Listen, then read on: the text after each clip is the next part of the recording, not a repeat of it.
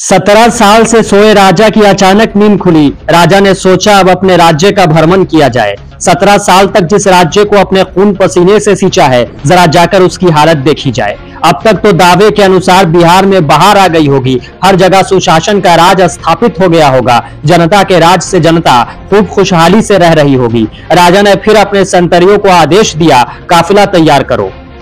हम समाधान यात्रा पर निकलेंगे। आखिर हमने अपना सत्रह साल दिया है इस राज्य को खुशहाल बनाने में। जरा जाकर जनता का आशीर्वाद लिया जाए। पूरा प्रशासनिक महकमा राजा के स्वागत में पलके बिछाए, इंतज़ार करने लगा। फ़ौरन राजा के ठहरने की जगहों को चमकाना शुरू कर दिया गया। गड्ढे वाली सड़कों को बनाने में पूरा विभाग लगा दिया गया। कहीं नई दीवारें खड़ी होने लगी, नाले की व्यवस्था की जाने लगी। रंगाई पोताई का काम शुरू हो गया। लेकिन ये सब राजा के स्वागत में नहीं हो रहा है। आप इस गलतफहमी में मत रहिएगा। राजा ने तो अपने सभी सरकारी कर्मचारियों को खुली छूट दे रखी थी। जितना भ्रष्टाचार करना है करो, हम हैं, सब ठीक कर देंगे। ये सजावट का काम सिर्फ़ इसलिए हो रहा है ताकि राजा के सामने कहीं इस बदहाल तस्वीर पर सवाल न कर दिया जाए और जनता राजा की सच्चाई न जान ले। लेकिन राजा के सारे किए कराए पर हाजीपुर में ही एक महिला ने पानी फेर दिया। महिला ने राजा को घेर लिया। इसके बाद वह अपनी समस्या के समाधान के लिए राजा से गुहार लगाने लगी। इस दौरान राजा की सुरक्षा में तैनात पुलिस कर्मियों ने महिला को रोकने की कोशिश की, लेकिन महिला अपनी जिद पर अड़ी रही। महिला की पहचान इंदू देवी के रूप में की गई है, जो लोदीपुर पंचायत के राजखंड गाँव की रहने वाली बताई जा रही है। इंदू देवी ने राजा के सामने शिकायत करते हुए कहा कि वह मनरेगा में काम करती थी, उसके पति नहीं है, इसके बावजूद मनरेगा कर्मियों ने उसका भुगतान नहीं किया है। उन्होंने अपनी शिकायत सीधे राजा के सामने रखी। इंदू देवी की शिकायत सुनने के बाद राजा ने आश्वासन दिया कि उनकी समस्या का जल्द समाधान हो जाएगा। इसके लिए वो डीएम से बात करेंगे। अगली बार भी सर हमको कमर्ली मनरेगा में हमको पैसा न मिला हम केसो कली हाजी को दस रुपया देले तीन दिन में पटना जनता दरबार के सर पीछे हो जाइए सर पीछे हो जाइए ए मोबाइल नीचे करो ए हाँ हिंदू का भी है थोड़ा सा साइड हो जाइए और मतलब के लोग की पंचायत हम काम धंधा अल्लाह देवे लागी। नेट अथी पर नेट पर। हमर काम न मिलत पहले हम भूखे मरे छठी गरीब आदमी सुन ली लोदीपुर पंचायत में आ एन्ने उन्ने जाइला कोई न सुनै छी हासिन अफसर का सुन ली लगा देला ध्यान करबे जाली ये तो मुख्यमंत्री। हाँ हमरा होय के चाहिए पैसा मिले के चाहिए काम। हो तो काम पैसा न मिले के चाहिए हाँ पहले के पैसा मिले के चाहिए मोबाइल कीजिए सर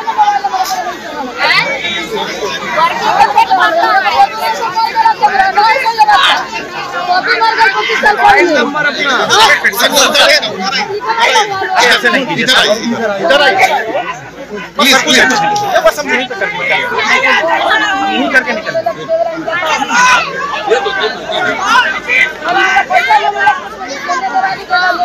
खाने के लिए खाने के लिए नहीं है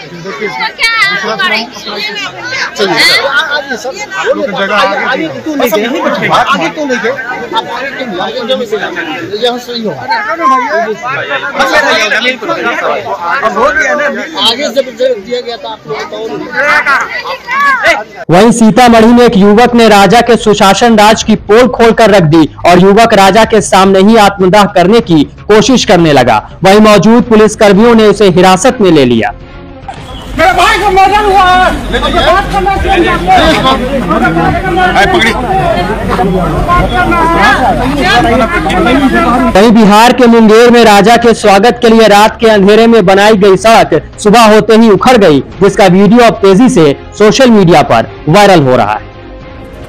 जो है रात में काम किया गया है पहाड़पुर खेमा के पास। ठीक है बीच सड़क था। देखिए कितना खराब बनाया गया है इसको।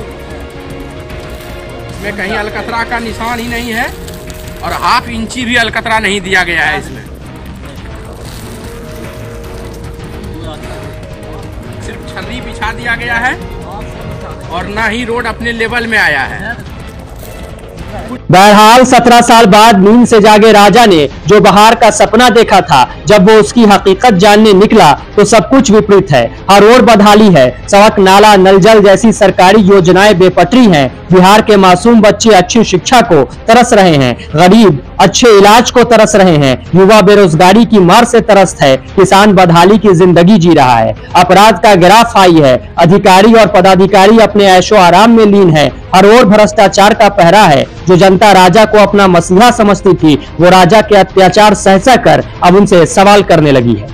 राजा सोच में पड़ गया। राजा ने सोचा, हम तो समाधान यात्रा के ज़रिए अपना बहार वाला बिहार देखने निकले थे, यहाँ तो सिर्फ़ बदहाली है। वैसे आपने राजा की इस यात्रा के नाम पर गौर नहीं किया, इस यात्रा का नाम ही है समाधान यात्रा। मतलब राजा सिर्फ़ जुमलेबाजी कर रहा था, उसे पता था, अभी राज्य में बहुत सारी समस्याएँ हैं। और इसलिए उसने इस यात्रा का नाम समाधान यात्रा रखा। लेकिन राजा की यात्रा खुद ही राजा के निकम्मेपन को चीख चीख कर बयां कर रही है। अब देखना है राजा अपनी इस यात्रा से क्या सीख लेता है और क्या इस यात्रा के बाद बिहार की तस्वीर बदलने की ओर कदम उठाया जाता है। ब्यूरो रिपोर्ट, चौथा स्तंभ।